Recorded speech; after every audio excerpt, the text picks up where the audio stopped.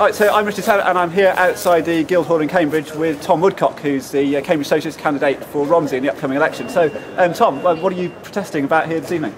Well, we were, we were here last council meeting as well. We're protesting mainly about the fact that there aren't enough secure te tenancies in the city, uh, that lots of people in the city are living in uh, basically unaffordable housing, often unsuitable.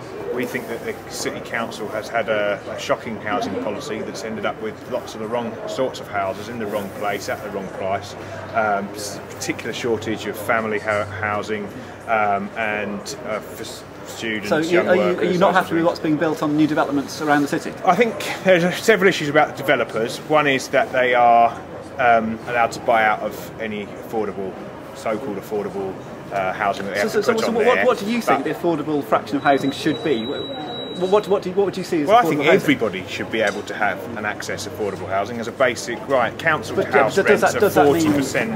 of the market rent. Uh, and what the government sees as well, hasn't got a definition for affordable housing. No, I think, I think that's a real problem. Like when people talk about affordable housing, what does it really mean? Is it is it small units? Is it council housing? Is it um, part ownership?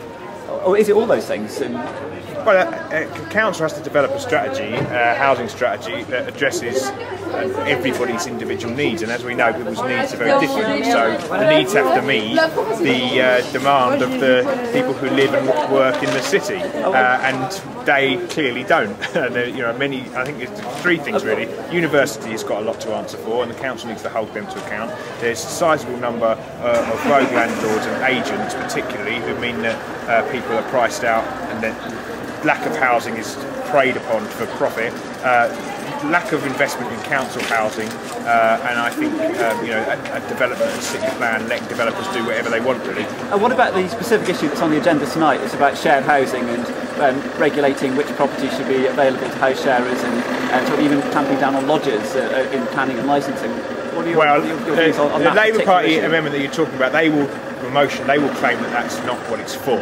They're saying that there's an issue about the need for regulating um, the number of uh, houses of multiple occupancy well, in problem, any one area do you think they're trying to address? it creates a social uh, lack of social cohesion and stuff. And they say they're trying to address the housing problem. So do you think I welcome, I welcome the fact that they've understood sort of the kind of people who live in shared housing in, in Cambridge? Not really, no. And I think I welcome the fact that they've put it on the agenda because it means that the debate is being had. I think they've gone about it completely the wrong way.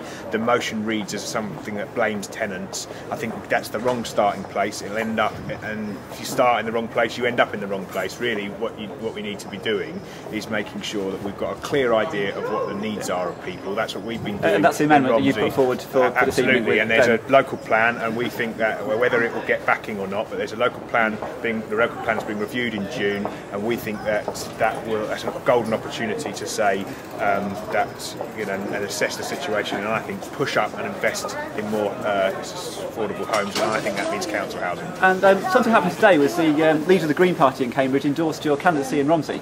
What's your right. reaction to that? He's, he's supporting you. Uh, well, the Green Party aren't standing in Romsey. Uh, I would urge everybody who uh, thinks that they they might want to vote for the Green Party to vote for. Did that come as a surprise? Um, no, no. We are very, very, I have very close relationships with lots of the councillors in terms of trying to build uh, political uh, allegiances uh, to fight on particular issues. Um, Adam and I have worked very closely on a number of issues, and I think that um, you know. Just quickly, um, why Romsey? You live in East Chesterton, so why are you standing in Romsey? Uh, I've stood in Romsey for the last six years. I'm not about to walk away from uh, a commitment that I think that I've made to people there. Um, people asked me to stand. Um, we think we've got a chance of winning that seat. It's a city council election. The city council decides on things that happen across the city. I think that therefore we need councillors that understand the needs of the city, and I don't think it matters if your councillor lives next door to you and is cutting your wages, pay, services, etc. Well, then you know they're not really doing their job, and that's what's happening uh, all over the city. People have got local councillors, but they're not working in the interest of the local community. Excellent. Thanks for that, Tom. Great.